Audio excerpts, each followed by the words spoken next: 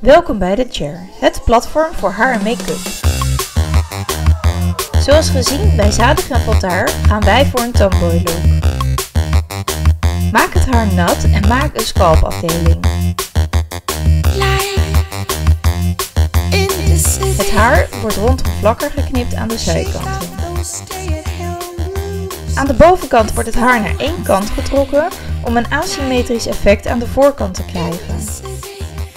Vraag je kapper om het haar in te knippen. Wanneer het haar geknipt is, wordt het gefeund met een borstel om definitie in het haar te krijgen. Dit zorgt voor rust en een mooie vorm in het haar. Het haar wordt gesteld met een flexibel product voor extra definitie en gefinished met een hairspray.